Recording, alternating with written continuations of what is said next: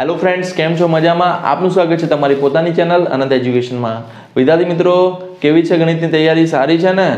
વિદ્યાર્થી મિત્રો, તમારામાંથી ઘણા બધા વિદ્યાર્થીઓને ચેપ્ટરમાં બાર, તેરમાં કન્ફ્યુઝન થતું હતું કે નથી આવડતું, સહેજે નહીં આવડતું, શું કરવું તો વિદ્યાર્થી મિત્રો, ચેપ્ટર નંબર બાર છે, એ ટોટલ ચાર ગુણનું છે. અને ચેપ્ટર નંબર તેર તો આઠ ગુણનું છે. એટલે બાર ગુણનું તો એમને એમ છોડાય નહીં.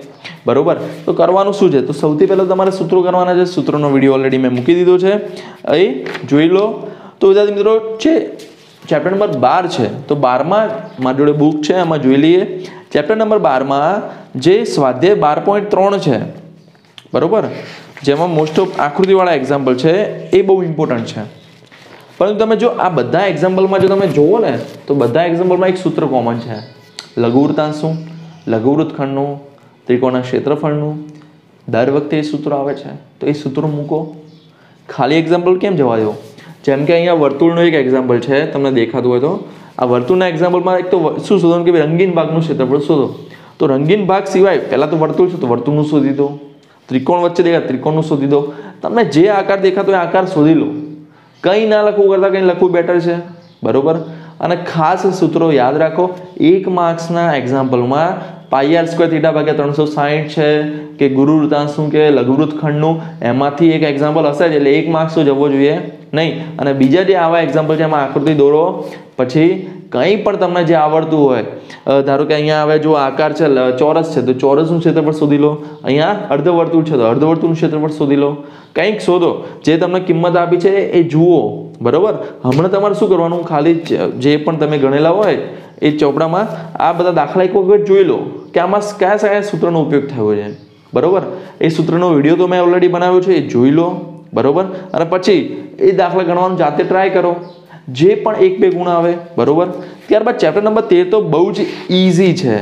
Okay okay guys chapter number બારમાં એક ખાસ બાર પોઈન્ટ બેના કેટલાક એક્ઝામ્પલ પણ જોઈ લેજો. એમાં પણ મોસ્ટ ઓફ તો લઘુવૃતાંશનું ક્ષેત્રફળનું જ સૂત્રનો ઉપયોગ થયો છે? તો પણ એકવાર જોઈ લેજો. બહુ ઇઝી છે. પહેલાંથી એમ તમને લાગે, આ હાર્ડ છે હાર્ડ છે પણ કંઈ હાર્ડ હોતું નથી. બહુ સિમ્પલ જ છે. ત્યારબાદ ચેપ્ટર નંબર તેર. ચેપ્ટર નંબર તેર ટોટલ આઠ માર્ક્સનું છે. અને તમે માનશો પણ આઠ માર્ક્સ એટલા સહેલા છે, કારણ કે સૂત્ર આધારિત જ છે. સૂત્ર આવડે એટલે આ દાખલા આવડી જાય. બરોબર? એક માર્ક્સમાં તો ડાયરેક્ટ સૂત્ર આધારિત એક એક્ઝામ્પલ તો હશે જ.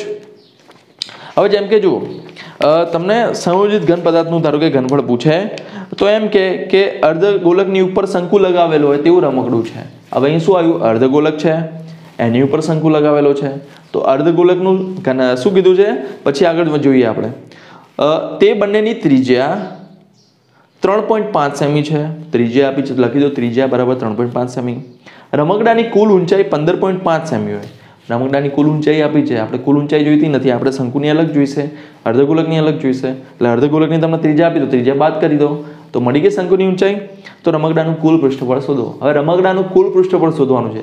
પૃષ્ઠફળના સૂત્રો મગજમાં યાદ કરી લો. ચલો, અર્ધગોલકનું આ થશે, શંકુનું આ થશે. તો અહીંયા લખી દો, અર્ધગોલકનું પૃષ્ઠફળ બરાબર? આ શંકુનું પૃષ્ઠફળ આ. તો કુલ ડમકડાનું પૃષ્ઠફળ તો અર્ધગોલકનું પૃષ્ઠફળ વત્તા શંકુનું પૃષ્ઠફળ પછી આપેલ કિંમત મૂકી દો. કેટલો સિમ્પલ એક્ઝામ્પલ છે?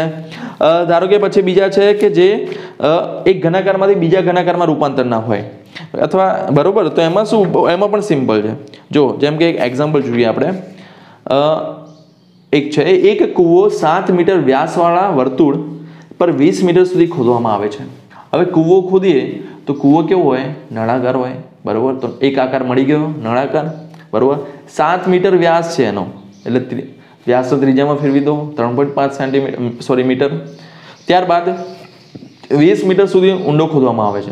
એટલે ઊંચાઈ મળી ગઈ. કૂવાનું થઈ ગયું. એટલે અહીંયા જો ખોદવામાં આવે છે, માટી નીકળવામાં આવે છે, ઘનાકારમાં રૂપાંતર, એટલે એમાં ઘનફળના જ સૂત્રો આવશે. હવે ખોદવામાંથી નીકળેલી માટીને સરખી રીતે પાથરી છે. સરખી રીતે પાથરી દીધી. અને એક વ્યાસપીઠ, બાવીસ મીટર ગુણ્યા ચૌદ મીટર. એલ બી આપેલા છે. બરોબર? તો એ જ શોધવાના છે. તો મતલબ શું થયું? નળાકારમાંથી આપણે લંબઘન બનાવવાનું છે. તો બહુ સિમ્પલ છે. નળાકારનું ઘનફળ, બરાબર. લંબઘનનું ઘનફળ, નળાકારનું માપ તમને મળી ગયું. લંબઘનનું મળી ગયું. કેટલું સિમ્પલ છે ને? તો આ જ કરવાનું છે. દરેક દાખલા જુઓ. આ તો કેવું હોય, તમને એમ લાગે કે ભાઈ ચલો, મને નહીં ફાવે આટલા બધા સૂત્રો પાયર સ્ક્વેર એચ બહુ એમ પાઈ ને આર ને એચ ને એલ ને. કંઈ એમ તમે અડો જ નહીં પછી. અને અડો નહીં એટલે પછી આવડે નહીં. એટલે જલ્દીથી આ પણ જોઈ લો. ત્યારબાદ એક આડછેદના એક્ઝામ્પલ છે. તો આડછેદના એક્ઝામ્પલ એટલા ઇઝી છે.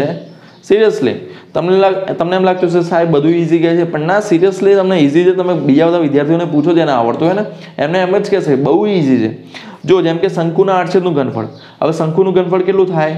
એક તૃતીયાંશ પાયર સ્ક્વેર એચ હવે આઠસેદનું તો એક તૃતીયાંશ એચ તો એમના એમ આની જગ્યાએ શું લખવાનું છે?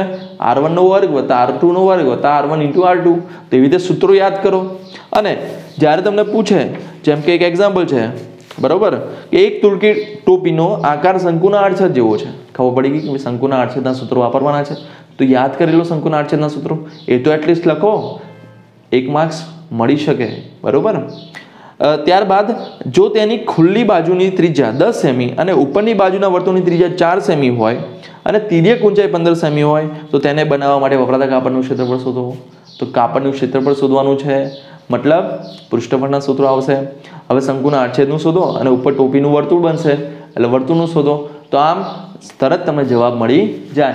તો આઈ હોપ કે તમને થોડું હવે એમ કોન્ફિડન્સ આવ્યો હશે અને તમને એમ થયું છે કે કંઈક લખીશું, કોરું મૂકી ના આવતા સૂત્રો પણ લખજો.